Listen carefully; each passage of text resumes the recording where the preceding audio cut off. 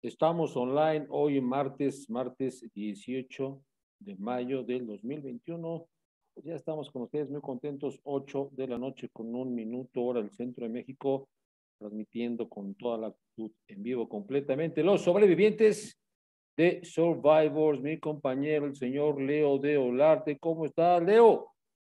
Muy bien, fíjate que estoy con este clima ¿no? Entre que se nubla, hace calor, granizada en Morelos, en parte de la Ciudad de México. aquí apenas está, empezando a llover. No se decide, o sea, es como un día de esos en los que uno no se decide qué hacer, si me duermo, si me despierto, si salgo, entro, corro. No sé, así está el día, ¿no? Así está el día. Se nubla, brilla, llueve, llora, o sea, trae un día depresivo de... el día trae unos conflictos emocionales que qué bárbaros, ¿eh? Oye, ¿y no viste el granizo ayer? ¿Qué, ¿Qué, cuentan pico? No me acuerdo en qué parte del norte de la República, pero unos granizos así, tamaño bola de béisbol, ¿no viste? No los vi, la verdad es que no me interesa noticia, pero sí vi el granizo que cayó, que fue como de caniquita, Ahorita el de Morelos. Ah, el de Morelos, ok. No, no. Sí, el de Morelos. Ayer, te digo que estuvo tremendo, pero sí, tamaño bolas de béisbol, que imagínate en los coches, imagínate en las casas, pasaron las escenas y sí, pues pérdida total para muchos, muchos autos. Tu auto, imagínate estacionado y de repente empieza el aguacerazo y escóndete, porque una de esas sí te está descalabrando, ¿eh? Por supuesto, hasta sales y dices, ah, caray, qué marcha pasó por aquí, ¿no? Digo, si vivieras en la Ciudad de México y no te entras de la granizada. Oye, pero hablando del norte de la Ciudad de México y hablando del norte de la República Mexicana. Señor. Mi, querida Andrea Mesa. Oye, allá del norte, Chihuahua, si no me equivoco. Chihuahua. Es de Chihuahua. Mira, hubiera apostado, hubiera ganado con ustedes, oye. Oye, ¿qué onda? Fíjate que a mí me dio gusto, la verdad, yo no la había visto, ¿eh? O sea, yo cuando, yo cuando empezó esto del certamen de Miss Mundo, eh, vi a la de la India, vi a la de Brasil también muy guapa que llegó al final. La de Brasil está muy guapa. Te había dicho la de Sudáfrica, la de, Sudáfrica se me hizo guapa también. Entonces yo dije, Sudáfrica o India. No había visto la mexicana, pero mm, digo, padrísimo que haya ganado y sí me dejó gratamente sorprendido, inteligente la chava, guapa, muy buen cuerpo, este, lucía, lucía muy bien en lo que fuera. ¿eh? Ya después la vi con calma y en traje de baño y con vestido de noche y contestando y todo. Hablaba muy bien inglés. Primero la criticaron, ya sabes que no falta ir a la gente. Hablaba bien inglés, ¿por qué la segunda respuesta? Pues porque se sintió más cómoda, ¿no? Muchas veces, aunque uno pueda medio hablar inglés, va a haber palabras que no puedas encontrar y luego te están diciendo que tienes 30 segundos para contestar. Pues yo creo que por muy buen inglés que hables y en ese momento sí te puedes este, friquear, como se dice vulgarmente. Entonces yo creo que lo mejor que hizo Miquelito fue decir, me la aviento en español y bastante bien, bastante congruente. Y yo lo vi al revés, fíjate, yo lo vi como que, oye, qué bien habla el inglés y qué bien habla el español, ¿no? Entonces, estuvo bien. Mm, se supo desenvolver muy bien, aparte de todo, bueno, yo se los comenté en el grupo de WhatsApp, ¿no? Yo creo que va a ganar, yo le voy a ella y no hay nadie más. Aparte de todo, a mí lo que me impresiona es, está altísima, o sea, mide 1,82, o sea, no manches. De tamaño, ¿no? pues 5 centímetros abajo, pero ya con un tacón de 15 ya Dios leo, ¿eh? O sea, llega a dos metros casi, o sea, está enorme, pero aparte de todo inteligente, guapa, ¿no? O sea, lo que me llama la atención es que qué bueno que están calificando más este tema de, de, ya no tanto, o sea, sí la belleza, pero también lo que saben hacer. Claro. las aptitudes. Y la preparación, ¿no? Exactamente, la preparación. cómo se desenvuelve. La chava de Perú se me hizo también que estaba muy bien preparada. Muy bien, digo, aparte ella vivía, vive en Nueva York, pues, pues ya hablaba muy bien inglés y se veía mucho más, más, este, como pez en el agua, ¿no? Pero todas en general muy bien. Oye, Miquelito, me está diciendo que ya va a llegar a Wikichava, vamos a darle la bienvenida, ¿no? Órale, va en lo que la gente se va conectando, porque veo muy pobre la transmisión, no se pasen de lanza, por favor, conéctense. Por favor, es que faltaba que llegara el Wikichava, llega el Wikichava y luego, luego empieza la gente a entrar. No, hombre, se sube todo esto y está genial. la verdad es que está ¿eh? muy bien. Tiene fans el Wikichava. Sí, por supuesto, el Wiki. sí los tengo, ¿o dónde están? mi querido Wikichava, ¿cómo estás, mi hermano? Siempre es un gusto saludarlos. Esta vez un poquito más elegante que otros días. pero porque viendo. de un bautizo. Ah, vienes de un bautizo. Ah, ¿de verdad? No, no, vengo de otra grabación. ah, muy bien. mientras no sea de un entierro, mi hermano. No, no, no, no, no. no para nada. Oye, pero te voy a decir algo. ¿De, de, de qué grabación? ¿Qué tuviste entrevista o qué onda, Miguki? No, fíjate que realizamos un tutorial sobre, que ya, ya lo publicaré muy pronto, sobre eh, la declaración patrimonial de funcionarios públicos. Ok. No sé si estaban conscientes de esa parte donde pues, la mayoría, si eres empleado de gobierno, si eres maestro, si eres, tienen que hacer su declaración patrimonial y tiene hasta 31 de mayo, entonces hay muchos tutoriales, hay mucho contenido de ese tipo que vale la pena hacer precisamente para que no se les pase la fecha. Claro. Mira, yo no sabía eso, pero no, muy buena información. No, más ¿eh? ahora que, que estamos eh, pues perfilados a las elecciones, ¿no? Yo creo que no se les debe mm. pasar. Aunque hay ahí de repente algunas bañillas, ¿no? Mi wiki de repente pues declaran lo que quieren, ¿no? Exacto, digo, la presunción sobre el tema de la declaración es precisamente que vas a poner lo que tú quieras declarar. Entonces, el tema es que, por ejemplo, la, lo importante es que se tiene un registro. Entonces, si un día la función pública quiere verificar pues tus cuentas o encuentra que tú eres, estás implicado por a lo mejor en algún problema de desvío, etcétera, van a decir, se van a ir para allá y van a decir, ah, no, aquí tú me dijiste que tenías 10 pesos y nosotros te creímos pero después encontramos. Entonces es más bien un mecanismo de registro donde pues ya con anticipación ya deberíamos saber cuántos son los ingresos o cuáles son las posiciones de ciertos bienes, que tiene también su parte, eh, pues no contraria como tal, sino eh, hay algunos funcionarios que a lo mejor no tienen toma de decisiones y aún así tienen que hacer la declaración patrimonial, lo cual está al acceso de, pues, mm, quien sea, prácticamente. Qué bueno. Eso es bueno. Oye, pues padrísimo, ya cuando esté eso, eso listo nos avisas, ¿no? Para, claro, claro, yo les doy toda la información al respecto.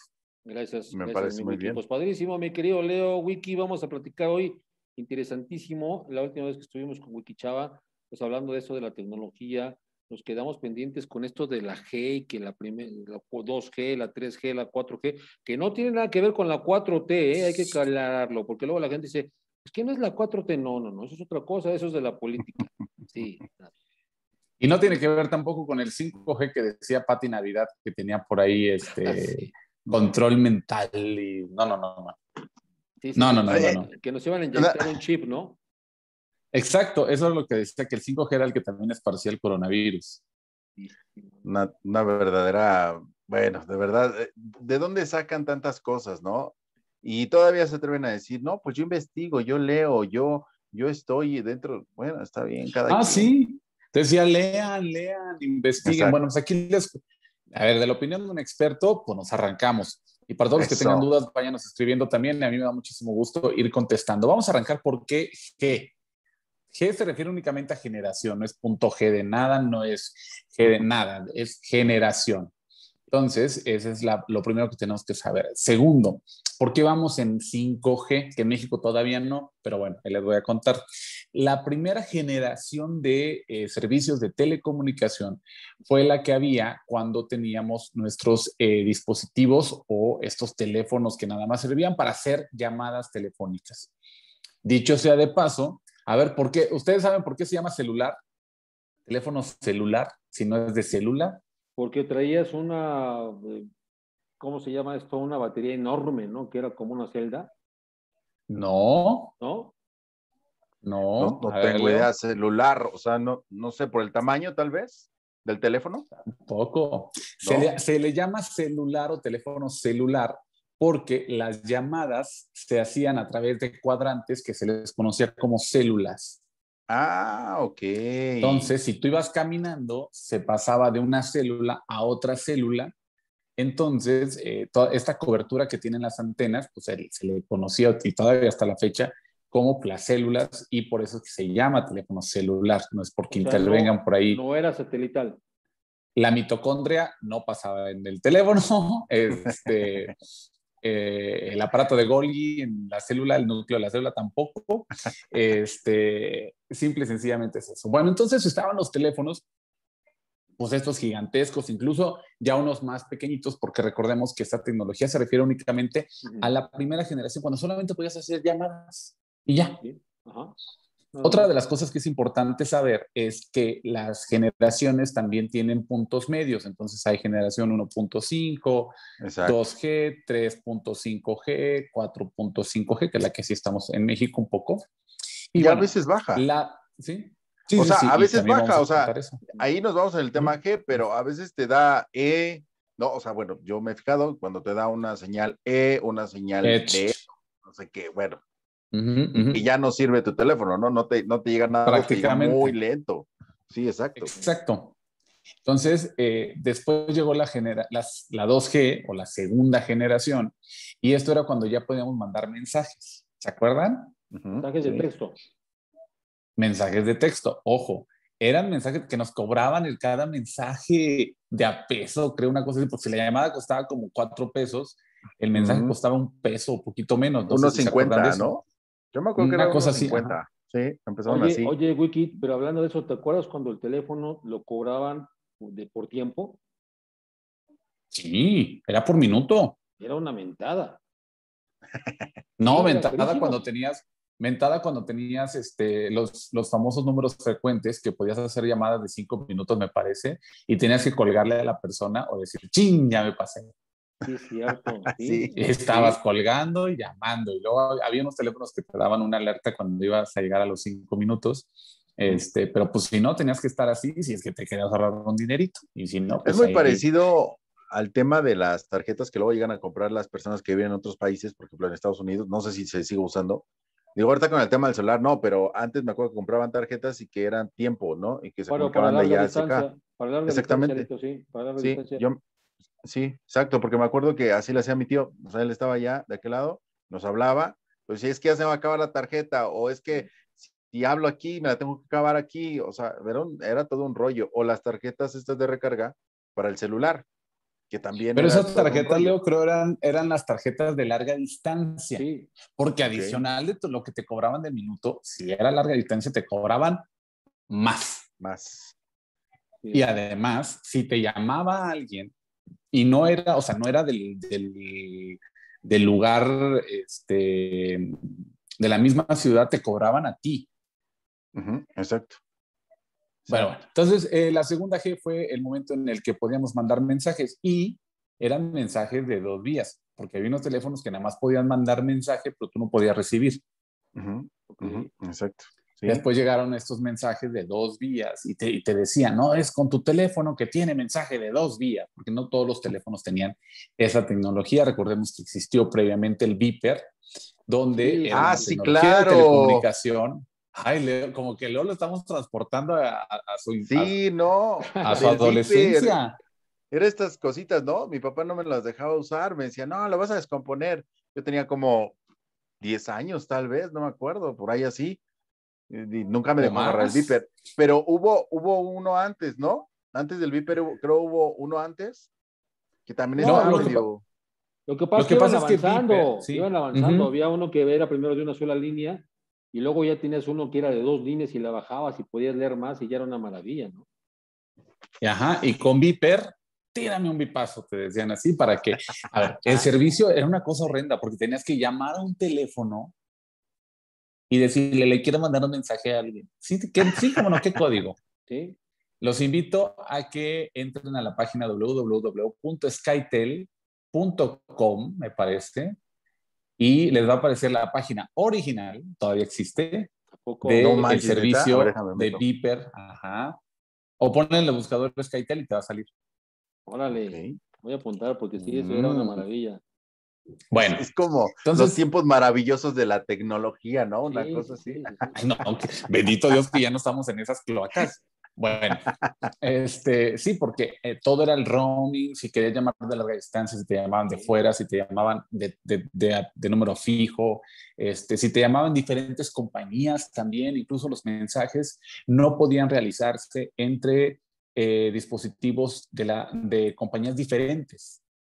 Qué, qué, qué, locura. No sé si recuerdan eso. Sí. que tenías que tener de la misma compañía. Exacto, entonces aquí se peleaban mucho hasta que llegó el gobierno y les dijo, señores, tienen que permitir que todo el mundo se mande mensajes. Pues sí. De hecho, la reforma en telecomunicaciones de hace cinco años, me parece, fue la que permitió que desapareciera el roaming y que ya nosotros pudiéramos hacer llamadas, porque eso de hacer una llamada como si fuera llamada local a cualquier parte del país, ocurría en Europa y ocurría en Asia desde hacía ya 10 años. Entonces en México pues era como que la fue la corona de los gastos en telecomunicaciones porque pues, todavía tenías que pagar larga distancia. Aquí te decían, ¿cómo?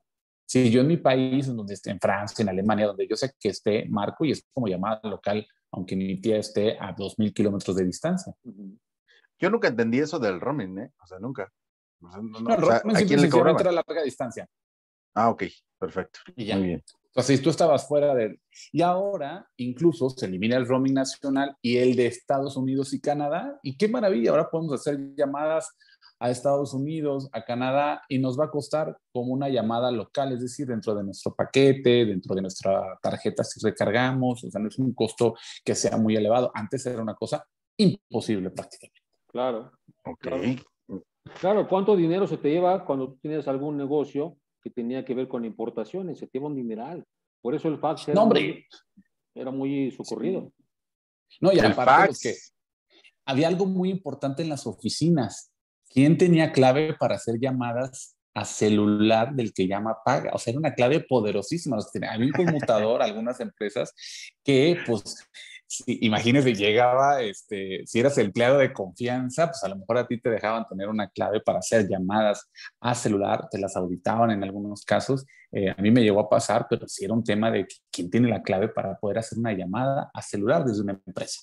era una mentada lo que, lo que se pagaba de, de teléfonos en aquella época, imagínate.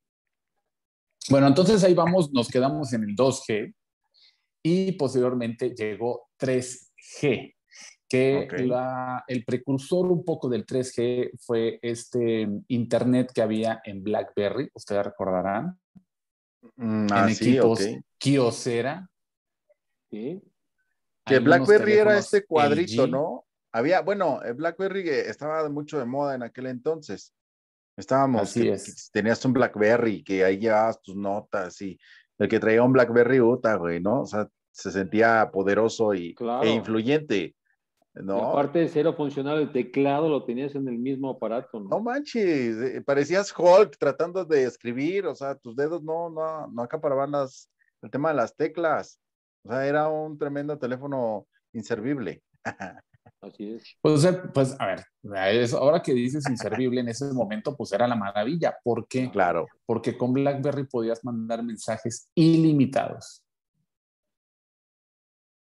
todos los que tú quisieras. En ese entonces era el BlackBerry Pin y podías mandar mensajes. Había unos teléfonos de Nokia que también tenían como que teclas para que tú pudieras compartir correos electrónicos, eh, mensajes. Ya tenías un 3G, eh, ya tenías un Internet que era muy lento, o sea, solamente te permitía hacer pocas cosas, sobre todo revisar texto, revisar, este, o sea, mandar una foto era algo muy complicado, eh, todavía el Wi-Fi no era algo que encontraras en cualquier dispositivo, entonces, si era el Internet, pues nada más usabas ese y por eso era tan fácil a través de estos dispositivos que fueran mensajes o correos electrónicos. Entonces, tú salías de tu oficina y qué maravilla, porque podías seguir contestando correos electrónicos. Exacto. Exactamente. Y estaba fantástico, porque te ahorrabas tiempo.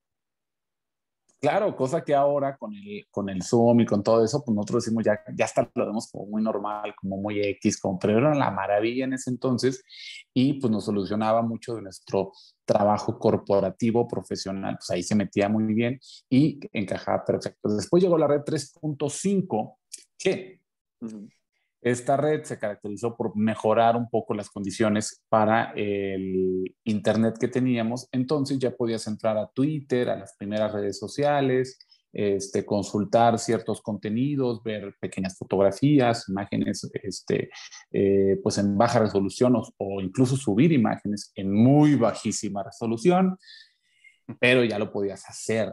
Y también con eso llegó una generación de teléfonos inteligentes, llámese iPhone, llámese equipos con Android, que ya podías tener ese Internet y que podías hacer eh, pues consulta de contenido. Ya estaban las aplicaciones que de alguna forma tenían precargado cierto material para que solamente por Internet pues llegara este, la, el texto o ciertos mensajes y pues era una maravilla en ese entonces. Ahí fue cuando BlackBerry empezó a batallar, no sé si se acuerdan de Nextel. Eso te iba a comentar ahorita, ¿dónde quedó Nextel, mi querido Wiki? Porque también en ese momento, en su momento, fue extraordinario. ¿eh? Así es, lo que tenía Nextel en, en su época es que era la empresa que más dinero facturaba por cada cliente. Por eso era una empresa muy rentable. ¿Por qué? Porque a diferencia de los otros, el azul, el verde y el rojo que estaba en ese entonces, eh, pues tenías mil líneas, pero pues 90 líneas, 92 líneas eran de, de prepago, de, de, recarga de 20 pesos, y pues ahí medio le batallaba, ¿no? Este, pero en el caso de Nextel, no. En el caso de Nextel, todo el que tú no tenía modalidad de prepago en un principio, tenías que sí o sí contratarlo, amarrarte uno o dos años principalmente con el equipo, pero podías tener llamadas de radio ilimitadas o muchos minutos que representaban un costo bastante bajo, especialmente si tenías pues un trabajo donde tenías que estar comunicado con frecuencia, pero de pronto la gente ya lo agarró de tener su teléfono y estaban ahí con el altavoz y ya estaban con su radio.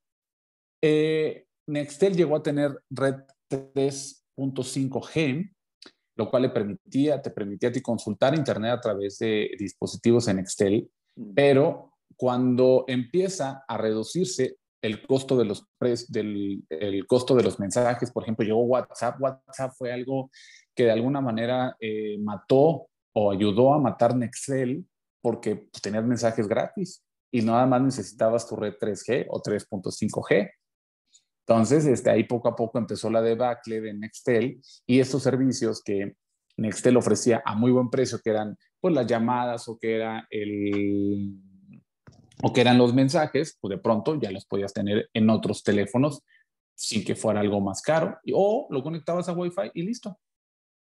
Exactamente. Claro, fácil. fácil. Aquí estamos hablando todavía de 4G, ¿verdad? Todavía estamos por llegar a la 4G.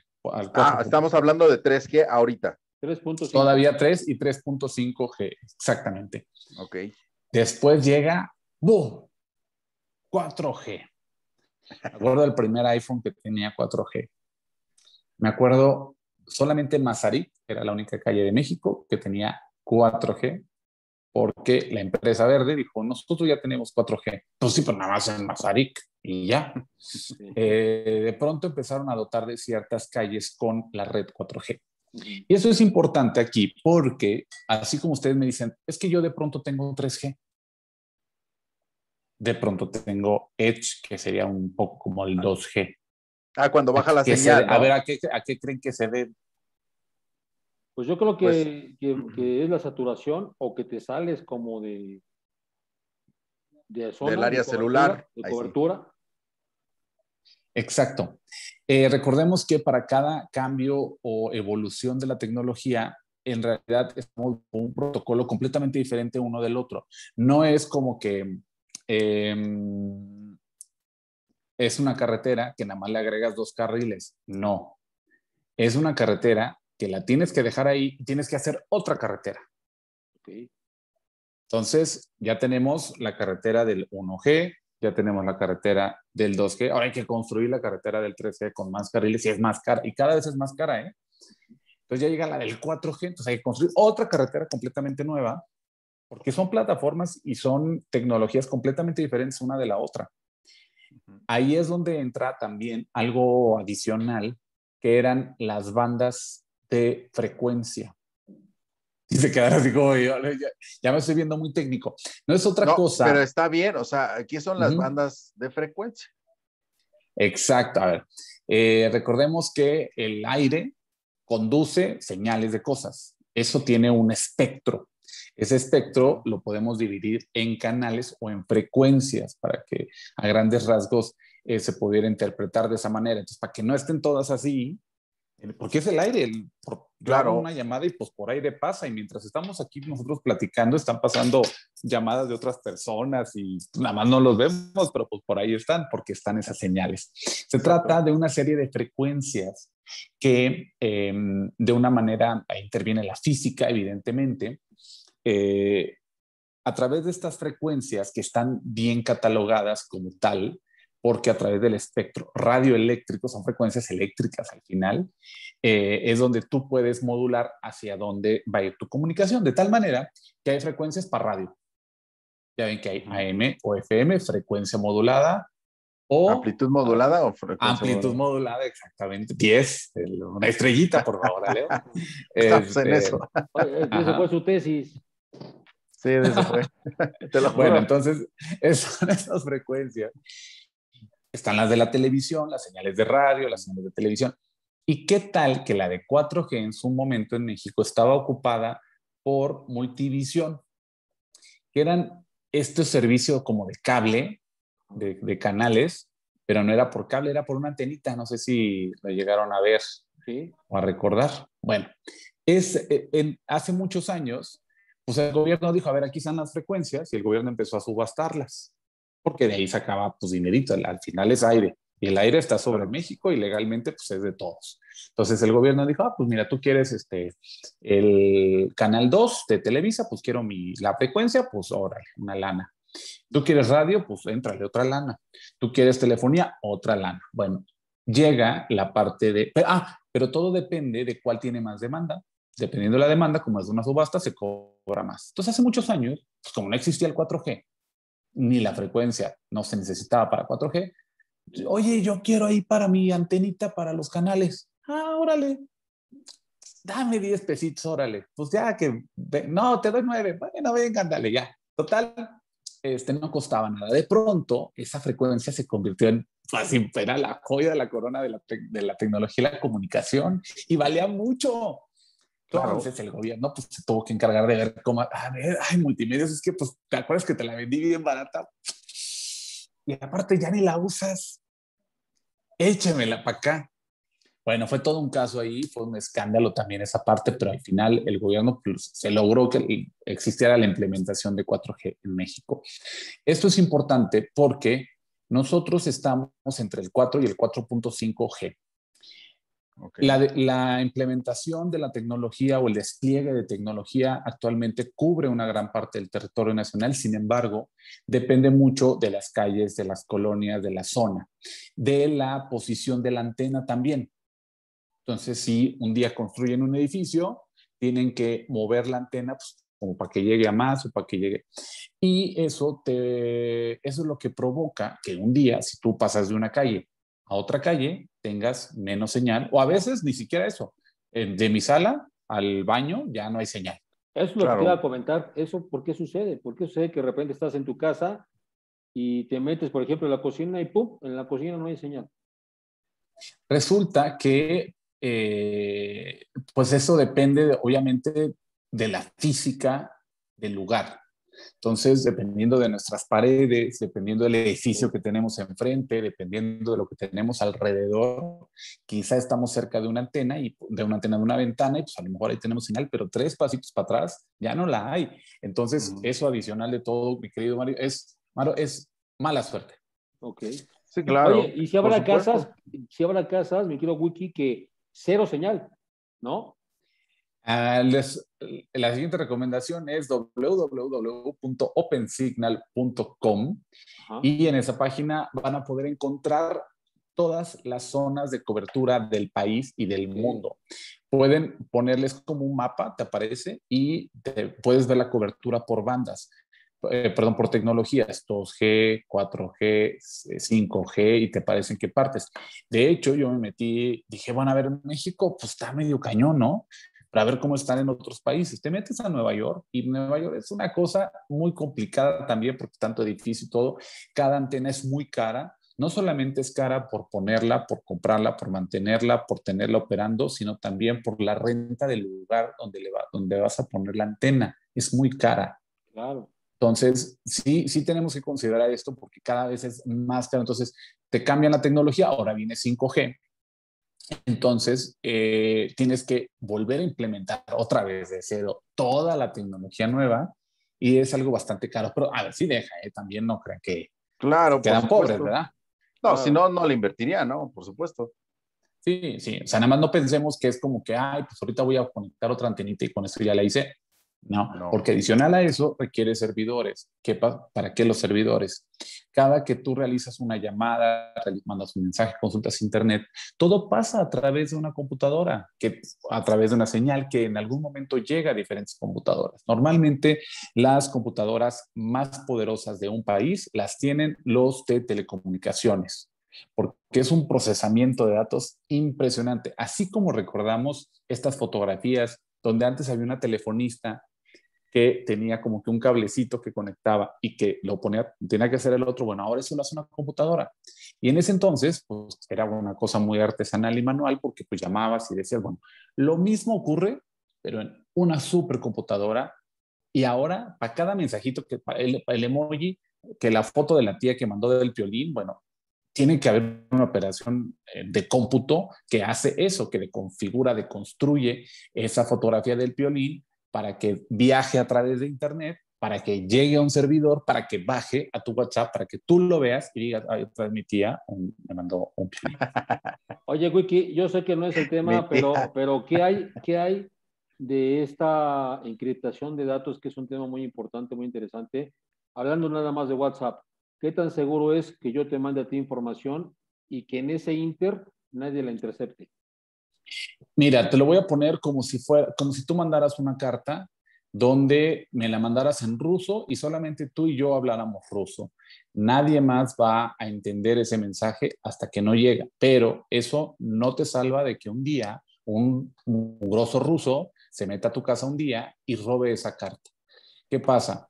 Eh, la encriptación es una, eh, es una herramienta de seguridad que finalmente sí sirve. En el caso de WhatsApp, por supuesto que sí, y le conviene mucho a WhatsApp que así sea, porque hace mucho tiempo, o sea, ellos no lo hicieron tampoco por buena onda necesariamente, lo hicieron porque hace mucho tiempo em, algunos gobiernos y algunos países estaban presionando para que compartieran información con ellos. Entonces, ellos cuando vieron ese que podía ser un problema para sus operaciones en los diferentes países, incluyendo Estados Unidos, dijeron, ¿saben qué? Vamos a decir que está encriptado, vamos a meter una tecnología, no decir, vamos a meter una tecnología de encriptación para que en el momento en que nos digan, ay, es que, a ver, échame aquí la información, uy, ¿qué crees? Mira, yo como herramienta de seguridad lo, lo, lo decodifiqué en ruso y pues si no hablas ruso, lo siento, compadre, no te puedo mandar nada. Entonces, eso, eso ocurre, pero al final el punto vulnerable es que eh, si tú ya tienes el mensaje y alguien más lo lee, pues ahí ya se acabó la seguridad. Claro, ok. Oye, entonces, bueno, estamos hablando del tema de 4G, 5G ahorita, ¿no? Yo la verdad es que 5G, no, aquí no ha llegado a México, solamente en algunas partes y algunas empresas, empresas lo han manejado. ¿Qué empresas son las que tienen 5G? Me quedo wiki en telefonía. Ninguna. Cero. ¿No? Nadie. Y luego, ¿por qué te venden, ¿por qué te venden que hay 5G y que... No, porque el aparato es 5G, ¿no? El aparato está listo para la 5G.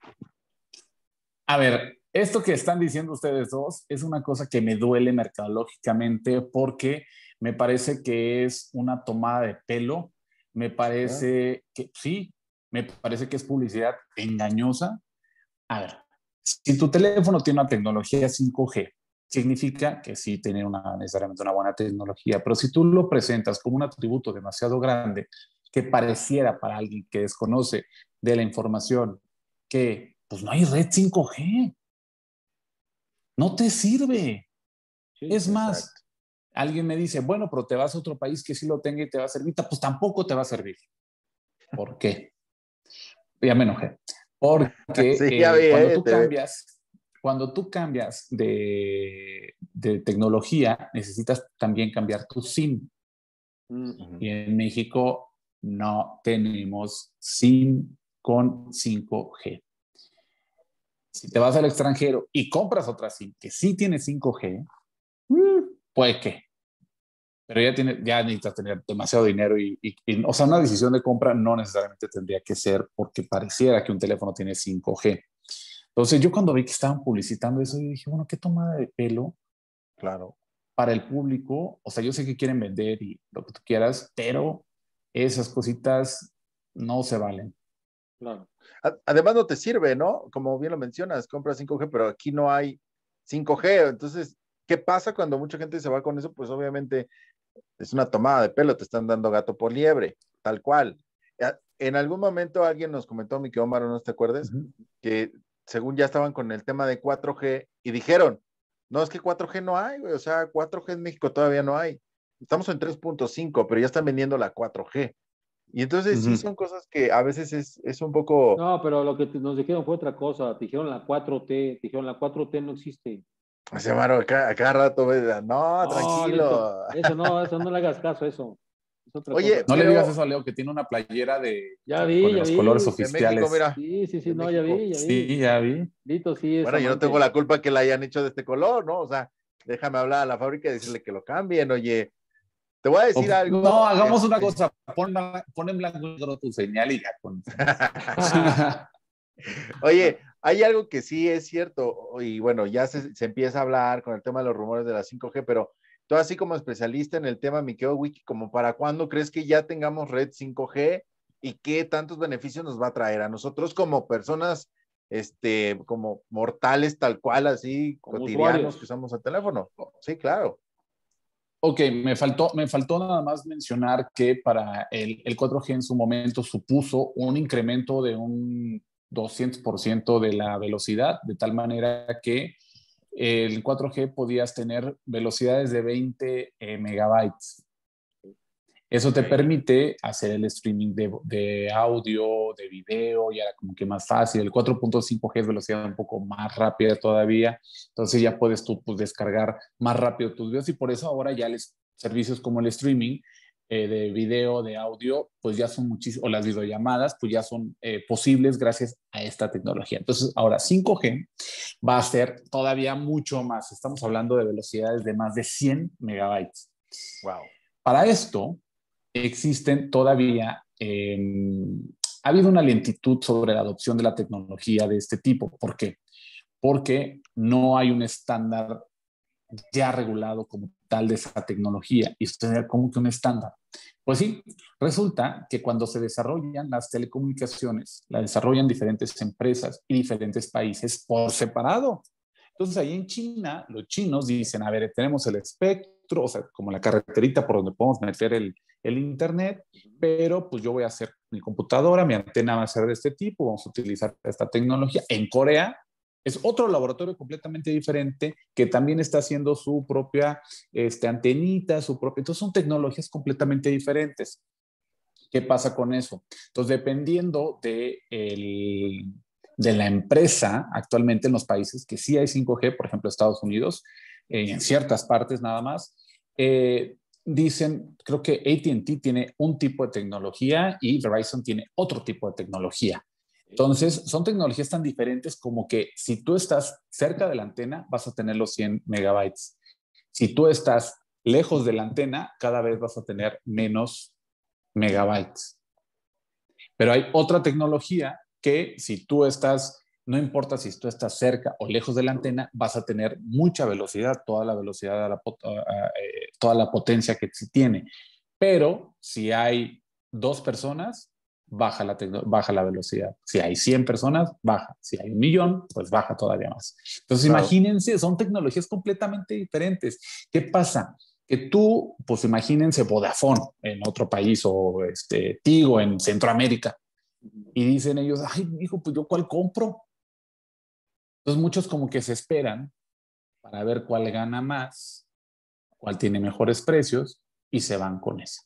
Esa es una parte importante de la implementación de la tecnología. Sin embargo, es una dupla. Es lo que el gobierno permite como frecuencia para otorgar, para que los proveedores de servicio la tengan y puedan implementar la tecnología, cosa que no ha ocurrido y que al parecer al gobierno no le interesa, interesa. implementarlo de momento. ¿Qué pasa con esto?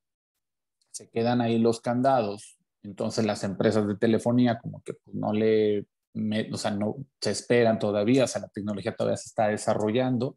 Sin embargo, pues sí es como de medio de, país bananero que eh, pues no tengamos todavía una visión clara de qué tecnología adoptar, incluso de que tengamos las frecuencias asignadas para que haya luz verde para el 5G en nuestro país. Mm, o sea que todavía falta muchísimo. ¿eh? En resumen, ¿no? Falta mucho. Igual ver qué es lo que pasa con las siguientes administraciones, porque bueno, ya traen diferentes ideas y bla, bla, pero bueno, ahorita falta bastante para que se pueda tener la 5G. Me hace, se me hace interesante, mi querido Maro, como tú lo mencionaste, saber esto, porque mucha gente de verdad dice, ay, tengo 4G, tengo 3 y tengo, y, y no saben ni qué tiene, ¿no? O sea, la neta. Porque solamente saben que tienen como que menos velocidad inmediatamente dicen aquí como que ya no, pero no, no necesariamente sabemos el por qué o qué hay detrás de esta implementación de redes. Este, incluso AT&T, que fue, que fue quien se quedó con Nextel, se quedó con el 3G de Nextel. Entonces, cuando ustedes tienen em, su teléfono de, o, esa señal de AT&T, todavía hay algunas antenas por ahí de, Nextel que siguen funcionando en relación a esa tecnología, pues en algunas partes de México, ¿verdad? que no tenemos por qué enterarnos y sencillamente queremos que funcione nuestro teléfono. Pero eh, al final es lo que es más triste es que de una tecnología como 5G, perdón, ya regresé. Ahí estás. Sí, ya Una tecnología 5G eh, eh, ayuda a la aceleración económica de un país. Al final son las telecomunicaciones. Esto va a 5G va a permitir, por ejemplo, el uso de dispositivos que están conectados a Internet, porque ahora va a haber más espacio para que cada uno pueda interactuar, porque van a interactuar de nuestro, desde nuestro, este, en nuestro hogar con algunos equipos. Y ustedes van a decir, bueno, ¿y eso qué nos va a ayudar en la economía? No se trata nada más de las cosas que hay en nuestra casa. Podemos hablar en algún momento, por ejemplo, imaginen un puerto de este, eh, Veracruz, Altamira, Puerto Progreso, donde son puertos marítimos importantes.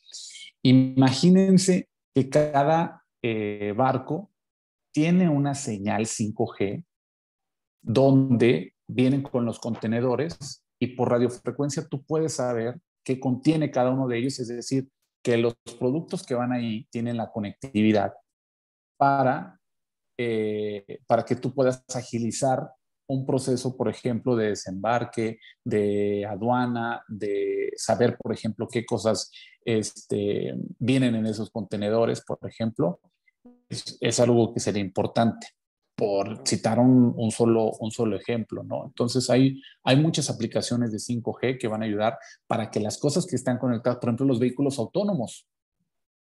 Ah, sí, claro. No se podría entender los vehículos autónomos sin, sin, el 5G porque un vehículo autónomo comparte demasiada información porque recolecta mucha información por cada, em, cada semáforo, cada peatón, cada bache, cada este, calle, cada señal. Todo eso es mucha información y funcionan mejor a través de una buena velocidad de Internet que solamente lo puede tener 5G en estos momentos. La pregunta es, ¿qué seguirá después de 5G, no? O sea... 6G. Todavía no llega... Pues, Ay, sí, no, no, bueno, claro. Este, no, bueno, no, no. Por Andas favor, con alguien, todo. Alguien acérqueme aquí las, este, las fanfarrias. Oye, pues claro, si nos vamos luego en, siete, este orden. Luego el 7. No, y luego el 8. No, pero ¿qué es lo que traerá? O sea, ¿qué tecnología es la que vendrá en cada una de estas generaciones, no? Porque finalmente... Yo creo que la siguiente generación va a estar muy enfocada a robótica e inteligencia artificial como nunca, por ejemplo. Aunque ya hay por ahí algunos videos de unos robots que están geniales, se mueven a una velocidad increíble y aparte también están los nuevos videos que salieron de inteligencia artificial de unos, no me acuerdo si son japoneses, eh, imagino que sí, que son expertos en la materia, donde son humanoides tal cual, o sea, tú los ves, son personas, dices, ay Dios, se está cumpliendo todo esto de yo robot y todo este desmadre que hay de las películas que hemos visto en mucho tiempo atrás, y sí está, está padre, ¿no? Finalmente es padre esa evolución eh, por parte del humano y en la tecnología, yo así lo veo, ¿no? Oye, me quiero, Wiki, ¿hay alguna, eh, algún lapso entre desarrollo de generación y otro? Es decir, cinco años, diez años, o no precisamente tiene que pasar un mismo tiempo? Eh, mira, te diría que estos lapsos sí han sido superiores a cinco años sin embargo, depende, va a depender muchísimo, eh, no necesariamente de la evolución del desarrollo de esta tecnología, sino también pues de las necesidades y demandas que hay del mercado. Entonces, ¿qué va a pasar? Que si estos 100 megabytes que vamos a tener de velocidad con, a través del 5G van a ser suficientes por más tiempo, pues seguramente las empresas pues van a, se van a quedar ahí o el, o el 5.5G va a durar muchísimo más tiempo, quizá, eh, pero eso va a ser dependiendo, es la, al final sí hay una demanda de parte del, del, del eh, de los usuarios.